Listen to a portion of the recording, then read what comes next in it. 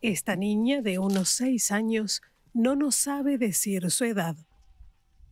¿Cuántos años tienes? No sabe, no sabe. También desconoce cuántos chiles jalapeños ha juntado en todo el día. Su madre, Josefina, no quiere dejarla en su vivienda en la ciudad de Camargo por el riesgo que correría. Para ella es más seguro traerla al campo a recolectar. No, nomás me los traigo porque no esté allá. ¿Y porque hay riesgo allá?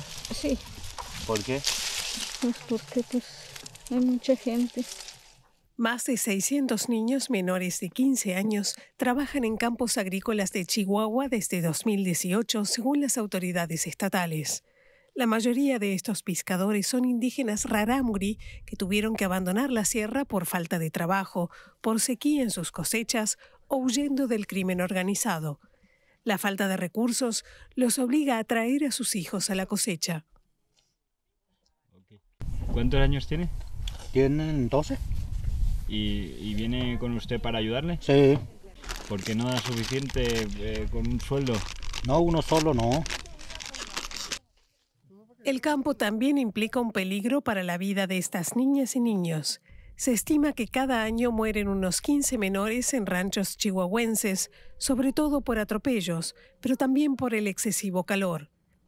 A mediados de septiembre, Juan perdió a su pequeño de tres años cuando lo arrolló un conductor ebrio que se dio a la fuga.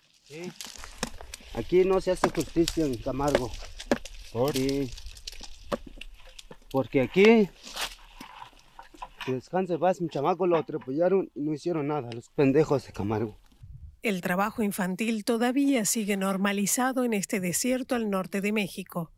Para el propietario de esta granja, el problema es que las instituciones estatales no ofrecen los servicios necesarios para esta población desplazada.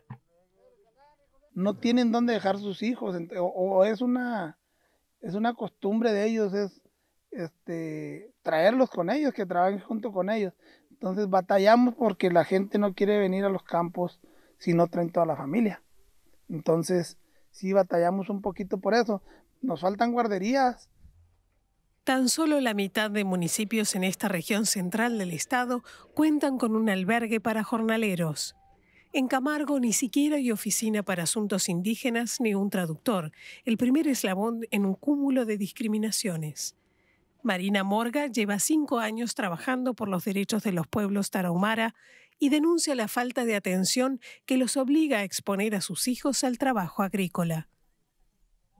Aquí, pues yo creo que falta un poquito de trabajo de parte de gobierno. ¿Por qué? Porque el gobierno en sí no se entera de que ellos son desplazados. Las oficinas pues están dentro de la capital y en los municipios pues también no los toman muy en cuenta. Mientras, las manos de esta niña seguirán agrietándose en un campo donde los años se cuentan en kilos de jalapeños.